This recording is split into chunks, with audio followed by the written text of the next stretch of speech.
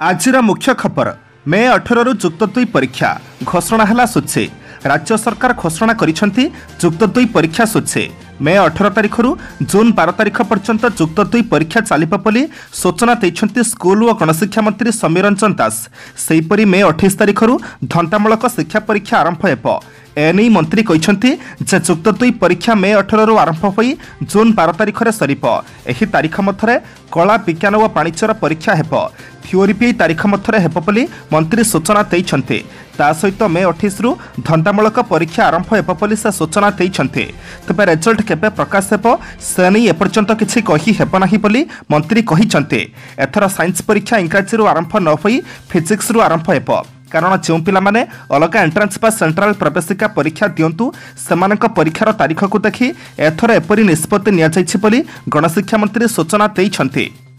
ପରବର୍ତ୍ତୀ ଖବର କୋଟାରେ ଆଡମିସନ ଲାଗି ସହଜ କଲେ ରାଜ୍ୟ ସରକାର। ଆଜି ଆନୁଷ୍ଠାନିକ ଭାବରେ RTE Paradarshi dot Odisha dot GOV dot in portal launch ହୋଇଛି। ଆର୍ଥିକ ଅନଗ୍ରସର ବର୍ଗ କୋଟାରେ ଆଡମିସନ ଲାଗି ଏଣିକି ସ୍କୁଲରେ ଆବେଦନ କରିବାକୁ ପଡ଼ିବ ନାହିଁ। RTE Paradarshi dot Odisha dot GOV dot in ପୋର୍ଟାଲରେ ଆର୍ଥିକ ଅନଗ୍ରସର ବର୍ଗ ବା ଇଡବ୍ଲ୍ୟୁଏସ୍ କୋଟାରେ ଛାତ୍ରଛାତ୍ରୀମାନେ ତାଲିକାରେ ଥିବା ସ୍କୁଲରେ ଆବେଦନ କରିବେ।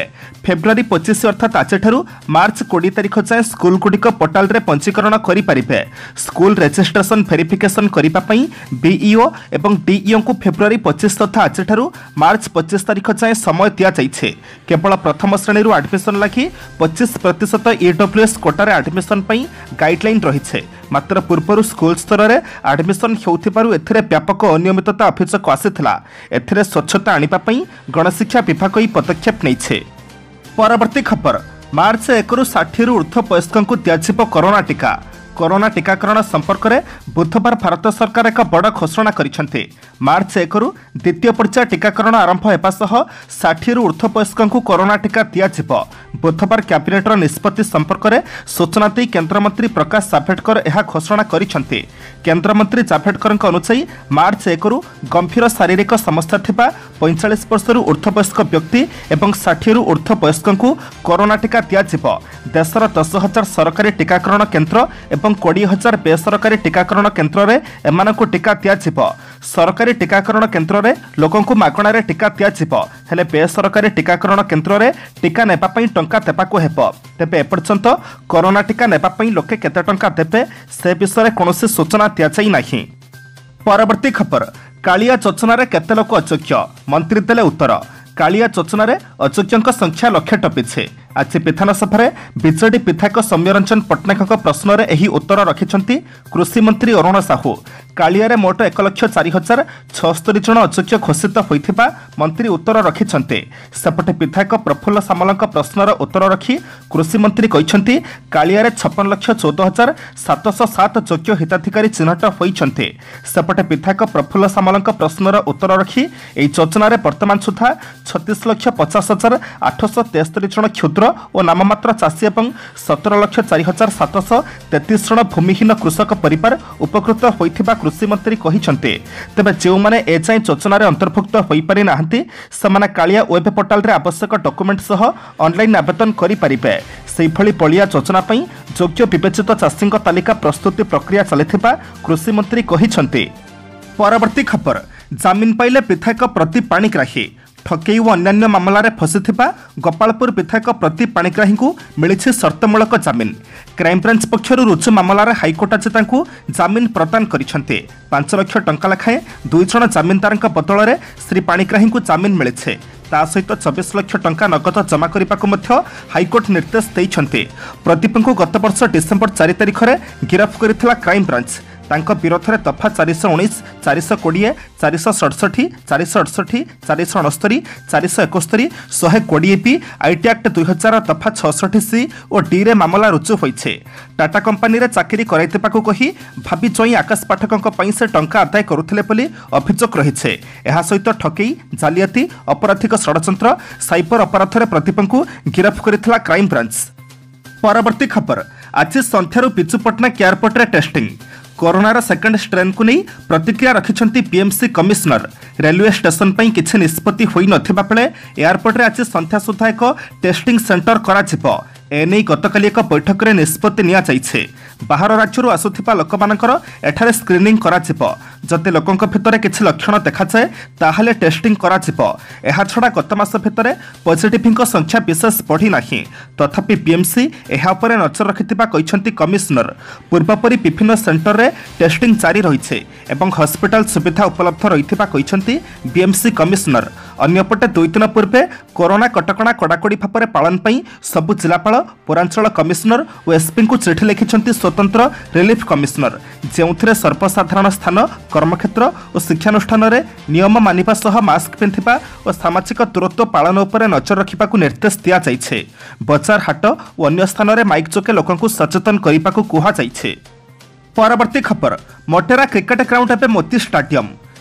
ଦିନ ରାଷ୍ଟ୍ରପତି ରାମନାଥ କୋବିନ୍ଦ ଗୁଜରାଟର ଅହମ୍ମଦାବାଦରେ ଏକ ଲକ୍ଷ ଦଶ ହଜାର ଦର୍ଶକ ଧାରଣ କରିବା ସାମର୍ଥ୍ୟ ଥିବା ବିଶ୍ୱର ବୃହତ୍ତମ କ୍ରିକେଟ ଷ୍ଟାଡିୟମ ନ୍ୟୁ ମୋଟେରା ଷ୍ଟାଡିୟମର ଶୁଭ ଉଦ୍ଘାଟନ କରିଛନ୍ତି।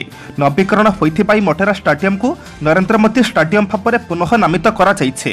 ଏହି ଉଦ୍ଘାଟନୀ ଉତ୍ସବରେ ତାଙ୍କ ସହ ଯୋଗ ଦେଇଥିଲେ ଗୃହମନ୍ତ୍ରୀ ଅମିତ ଶାହା।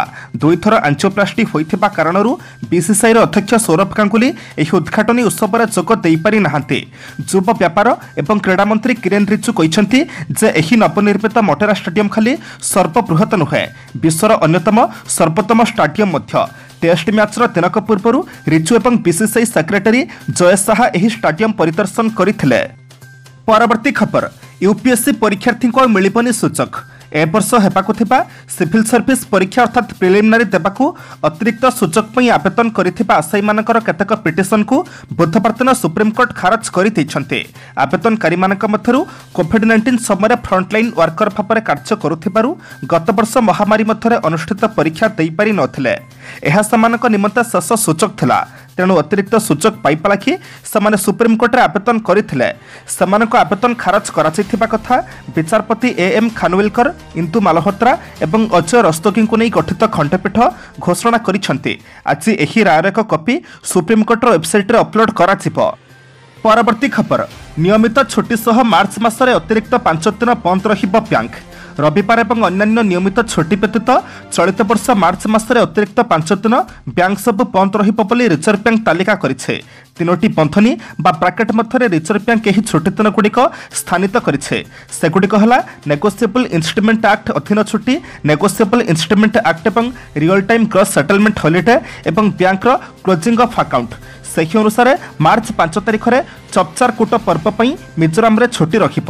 ମାର୍ଚ୍ଚ ଏଗାରରେ ମହାଶିବରାତ୍ରି ମାର୍ଚ୍ଚ ବାଇଶରେ ବିହାର ଦିବସ ବିହାର ପାଇଁ ମାର୍ଚ୍ଚ ଅଣତିରିଶରେ ଧୁଲେତି ଅର୍ଥାତ୍ ୟାଓସାଙ୍ଗ ଏବଂ ମାର୍ଚ୍ଚ ତିରିଶରେ ହୋଲି ପଡ଼ୁଥିବାରୁ ବ୍ୟାଙ୍କ ସବୁ ଛୁଟି ରହିବ। ଏହାଛଡ଼ା ରବିବାର ଏବଂ ମାସର ଦ୍ୱିତୀୟ ଶନିବାର ଦିନ ଦେଶର ସବୁ ବ୍ୟାଙ୍କ ନିୟମିତ ଛୁଟି ରହିଥାଏ। ପରବର୍ତ୍ତୀ ଖବରକୁ ଯିବା ପୂର୍ବରୁ ଆପଣମାନଙ୍କ ଅନୁରୋଧ ଭିଡ଼ିଓଟିକୁ ଶେଷ ପର୍ଯ୍ୟନ୍ତ ଦେଖନ୍ତୁ। କାରଣ ଭିଡ଼ିଓର ଶେଷରେ ରହିଛି ଆଜିର ରାଶିଫଳ। କିନ୍ତୁ ତା ପୂର୍ବରୁ ଭିଡ଼ିଓଟିକୁ ଲାଇକ୍ କରିଦିଅନ୍ତୁ କାରଣ ଆପଣଙ୍କର ଗୋଟେ ଛୋଟ ଲାଇକ୍ ଆମକୁ ନୂତନ ଭିଡ଼ିଓ ବନାଇବା ପାଇଁ ପ୍ରୋତ୍ସାହିତ କରିଥାଏ। ପରବର୍ତ୍ତୀ ଖବର ରାଜ୍ୟରେ ବୃଦ୍ଧି ପାଇଲା କୁମ୍ଭୀର ସଂଖ୍ୟା। ଚଳିତ ବର୍ଷ ସାତକୋଶିଆରେ ମଗର ପ୍ରଜାତି କୁମ୍ଭୀର ସଂଖ୍ୟା ହ୍ରାସ ପାଇଥିବା ବେଳେ ବଉଳା କୁମ୍ଭୀରଙ୍କ ସଂଖ୍ୟା ବାଷଠି ବୃଦ୍ଧି ପାଇଥିବା ଗଣନାରୁ ଜଣାପଡ଼ିଛି। ଗଣନା ରିପୋର୍ଟ ଅନୁସାରେ ଭିତରକନିକା ଓ ଭଦ୍ରକ ଜିଲ୍ଲାରେ ଦେଖାଦେଉଥିବା ବଉଳା କୁମ୍ଭୀରଙ୍କ ସଂଖ୍ୟା ଏବର୍ଷ ଏକ ହଜାର ଆଠଶହ ତିରିଶରେ ପହଞ୍ଚିଛି ଗତବର୍ଷ ବଉଳା କୁମ୍ଭୀରଙ୍କ ସଂଖ୍ୟା ଏକ ହଜାର ସାତଶହ ଅଠଷଠି ରହିଥିଲା। ସେହିପରି ଶିମିଳିପାଳରେ ଏବର୍ଷ ଯେତିକି ସଂଖ୍ୟାରେ ମଗର ଅଛନ୍ତି ଗତବର୍ଷ ମଧ୍ୟ ସେତିକି ଥିଲେ। ଗଣନା ସମୟରେ ଏବର୍ଷ ଅଶୀଟି ମଗର ଥିବା ଜଣାପଡ଼ିଛି। ସାତକୋଶରେ ଏବର୍ଷ ଶହେ ତେରଟି ମକର ଥିବାବେଳେ ଗତବର୍ଷ ଶହେ ପଞ୍ଚାନବେଟି ମକର ରହିଥିଲେ ତେବେ ମକର ସଂଖ୍ୟାରେ ହ୍ରାସ ପାଇଛି। ଏଥିସହିତ ଗଞ୍ଜାମ ଖଡ଼ାହାଡ଼ରେ ଏବର୍ଷ ପଞ୍ଚଷଠିଟି ମକର ଥିବାବେଳେ ଗତବର୍ଷ ସଂଖ୍ୟା ବାସ୍ତରୀ ରହିଥିଲା। ସେହିପରି ମହାନଦୀରେ ଘଡ଼ିଆଳ କୁମ୍ଭୀର ସଂଖ୍ୟା ଏବର୍ଷ ଏଗାରରେ ପହଞ୍ଚିଥିବା ବେଳେ ଗତବର୍ଷ ଆଠଟି ଘଡ଼ିଆଳ କୁମ୍ଭୀର ରହିଥିଲେ ବୋଲି ପିସିସିଏଫ୍ ଶଶିପଲ କହିଛନ୍ତି। ପରବର୍ତ୍ତୀ ଖବର। କୋରାପୁଟ ସହ ଅନ୍ୟ ଛଅଟି ଜିଲ୍ଲାରେ ସୀମା ବିବାଦ ରହିଛି। ସୀମା ବିବାଦ ନେଇ ମୁଲତବୀ ପ୍ରସ୍ତାବ ଉପରେ ଆଲୋଚନା ଆରମ୍ଭ ହୋଇଯାଇଛି। ଏହି ଆଲୋଚନା ସମୟରେ ରାଜ୍ୟ ସରକାରଙ୍କୁ ବିରୋଧୀ ଦଳ ନେତା ପ୍ରଦୀପ୍ତ ନାୟକ ଆକ୍ଷେପ କରି କହିଛନ୍ତି କୋଟିଆ ସମେତ ସୀମାବର୍ତ୍ତୀ ଅଞ୍ଚଳରେ ମୌଳିକ ସୁବିଧା ସରକାର ପହଞ୍ଚାଇବାରେ ବିଫଳ ହୋଇଛନ୍ତି। ପିଇବା ପାଣି ଘର ସ୍କୁଲ ଓ ଡାକ୍ତର ଏସବୁର ଘୋର ଅଭାବ ରହିଛି। ଏପରିକି ବିଦ୍ୟୁତ ସେବା ବି ଦୁର୍ବଳ ରହିଛି। ସେପଟେ ଆନ୍ଧ୍ର ସରକାର ବିଭିନ୍ନ ସ୍କିମ୍ କରି ଲୋକଙ୍କୁ ସୁବିଧା ଯୋଗାଇ ଦେଉଥିବାରୁ ଲୋକେ ଆନ୍ଧ୍ର ଆଡ଼କୁ ଢଳି ଯାଉଛନ୍ତି। ଗୃହରେ ମୁଲତବୀ ପ୍ରସ୍ତାବର ଜବାବ ରଖି ରାଜସ୍ୱ ମନ୍ତ୍ରୀ ସୁଦାମ ବାରାଣ୍ଟି କହିଛନ୍ତି ଓଡ଼ିଶାର ଚଉଦଟି ଜିଲ୍ଲାର ସୀମାକୁ ପଡ଼ୋଶୀ ରାଜ୍ୟର ଜିଲ୍ଲାର ସୀମା ଲାଗି ରହିଛି। ବର୍ତ୍ତମାନ କୋରାପୁଟ ସହ ଅନ୍ୟ ଛଅଟି ଜିଲ୍ଲାରେ ସୀମା ବିବାଦ ରହିଛି। ଏହିସବୁ ଜିଲ୍ଲା ମଧ୍ୟରେ ରହିଛି ବାଲେଶ୍ୱର ମୟୂରଭଞ୍ଜ ଗଞ୍ଜାମ ଗଜପତି କେନ୍ଦୁଝର ଓ ନୂଆପଡ଼ା। ପରବର୍ତ୍ତୀ ଖବର। ହଠାତ୍ ସଂକ୍ରମଣ ବଢ଼ିବାରୁ ଦଶଟି ରାଜ୍ୟକୁ ବହୁ ବିଭାଗୀୟ ବିଶେଷଜ୍ଞ ଦଳ ପଠାଇଲା କେନ୍ଦ୍ର ସ୍ୱାସ୍ଥ୍ୟ ମନ୍ତ୍ରଣାଳୟ ଦେଶରେ ପୁଣି ବଢ଼ିବାରେ ଲାଗିଛି କରୋନା ସଂକ୍ରମଣ। କିଛି ରାଜ୍ୟରେ ଏବେ ହୁ ହୁ ହୋଇ କରୋନା ସଂକ୍ରମଣ ବଢ଼ିବା ଖବର କେନ୍ଦ୍ର ସରକାରଙ୍କ ଚିନ୍ତାର କାରଣ ପାଲଟିଛି। ଏହା ସହ କରୋନା ଭୂତାଣୁର ନୂଆ ଷ୍ଟ୍ରେନ୍ ଚିହ୍ନଟ ହେଉଥିବାରୁ କେନ୍ଦ୍ର ସ୍ୱାସ୍ଥ୍ୟ ଓ ପରିବାର କଲ୍ୟାଣ ମନ୍ତ୍ରଣାଳୟ ମହାରାଷ୍ଟ୍ର କେରଳ ଛତିଶଗଡ଼ ମଧ୍ୟପ୍ରଦେଶ ଗୁଜରାଟ ପଞ୍ଜାବ କର୍ଣ୍ଣାଟକ ତାମିଲନାଡୁ ପଶ୍ଚିମବଙ୍ଗ ଏବଂ ଜମ୍ମୁ କାଶ୍ମୀର ପାଇଁ ଉଚ୍ଚସ୍ତରୀୟ ବହୁ ବିଭାଗୀୟ ବିଶେଷଜ୍ଞ ଦଳ ଗଠନ କରିଛନ୍ତି। କରୋନା ସଂକ୍ରମଣ ବଢ଼ୁଥିବାରୁ ଜନସ୍ୱାସ୍ଥ୍ୟ ବ୍ୟବସ୍ଥାର ପରିଚାଳନାରେ ରାଜ୍ୟମାନଙ୍କୁ ସାହାଯ୍ୟ କରିବା ପାଇଁ ଏହି ଦଳ କେନ୍ଦ୍ର ସ୍ୱାସ୍ଥ୍ୟ ଓ ପରିବାର କଲ୍ୟାଣ ମନ୍ତ୍ରଣାଳୟ ଗଠନ କରିଥିବା ଜଣାପଡ଼ିଛି ମିଳିଥିବା ସୂଚନା ଅନୁଯାୟୀ ତିନି ସଦସ୍ୟ ବିଶିଷ୍ଟ ବହୁ ବିଭାଗୀୟ ଦଳ ରାଜ୍ୟ ତଥା କେନ୍ଦ୍ରଶାସିତ ଅଞ୍ଚଳ ସହ କାର୍ଯ୍ୟ କରିବେ ଏବଂ ହଠାତ୍ କରୋନା ସଂକ୍ରମଣ ବଢ଼ିବାର ପ୍ରକୃତ କାରଣ କ'ଣ ତାହା ଜାଣିବାକୁ ଚେଷ୍ଟା କରିବେ ସଂକ୍ରମଣକୁ ରୋକିବା ପାଇଁ ଏହି ଉଚ୍ଚସ୍ତରୀୟ ଟିମ୍ ଉଭୟ ରାଜ୍ୟ ଓ କେନ୍ଦ୍ରଶାସିତ ଅଞ୍ଚଳର ସ୍ୱାସ୍ଥ୍ୟ କର୍ତ୍ତୃପକ୍ଷଙ୍କ ସହ ସମନ୍ୱୟ ରକ୍ଷା କରିବେ। ପରବର୍ତ୍ତୀ ଖବର। ପୁଣି ଓଡ଼ିଶାରେ ପଶିଲା ଆନ୍ଧ୍ର। ଗାଁ ଗାଁ ବୁଲି କରୁଛି ସ୍ୱାସ୍ଥ୍ୟ ପରୀକ୍ଷା। କୋଟିଆକୁ ନେଇ ଆନ୍ଧ୍ର ଓଡ଼ିଶା ସୁପ୍ରିମକୋର୍ଟରେ ମୁହାଁମୁହିଁ ହୋଇଛନ୍ତି। ପ୍ରଥମେ ଓଡ଼ିଶା ସୀମାରେ ପଶି ନିର୍ବାଚନ କରାଇବା ପରେ ଏବେ ପୁଣି ଥରେ ଓଡ଼ିଶାରେ ପଶିଛି ଆନ୍ଧ୍ର। ଏଥର ସ୍ୱାସ୍ଥ୍ୟ ସେବା ଯୋଗାଇବା ନାଁରେ ଗାଁ ଗାଁ ବୁଲି ଲୋକଙ୍କୁ ସ୍ୱାସ୍ଥ୍ୟ ସେବା ଯୋଗାଉଛନ୍ତି ଆନ୍ଧ୍ରର ସ୍ୱାସ୍ଥ୍ୟକର୍ମୀ ତଳ ଗଞ୍ଜେଇପତର ଓ କୋଟିଆର ଅନ୍ୟାନ୍ୟ ଅଞ୍ଚଳରେ ସାଲୁର ମଣ୍ଡଳର ତୋନମ ପିଏଚ୍ସି ପକ୍ଷରୁ ଗାଁ ଗାଁ ବୁଲି ଲୋକଙ୍କୁ ସ୍ୱାସ୍ଥ୍ୟ ସେବା ଯୋଗାଉଛନ୍ତି ଆନ୍ଧ୍ରର ସ୍ୱାସ୍ଥ୍ୟକର୍ମୀ ପୂର୍ବରୁ ଗାଁ ଭାଇମାନେ ଆସୁଥିବା ବେଳେ ଏବେ ମାସକୁ ଦୁଇରୁ ତିନିଥର ବିଭିନ୍ନ ଗାଁ ବୁଲି ଲୋକଙ୍କ ସ୍ୱାସ୍ଥ୍ୟ ସେବା ପଚାରି ପୁଛୁଛନ୍ତି। ସାଲୁର ମଣ୍ଡଳର ଏନ୍ଏମ୍ ଜେ କବିତା ଓ ପୁରୁଷ ସ୍ୱାସ୍ଥ୍ୟକର୍ମୀ ମୁନାରାଓ ଗାଁ ଗାଁ ବୁଲି ସ୍ୱାସ୍ଥ୍ୟ ପରୀକ୍ଷା କରୁଥିବା ଦେଖିବାକୁ ମିଳିଛି।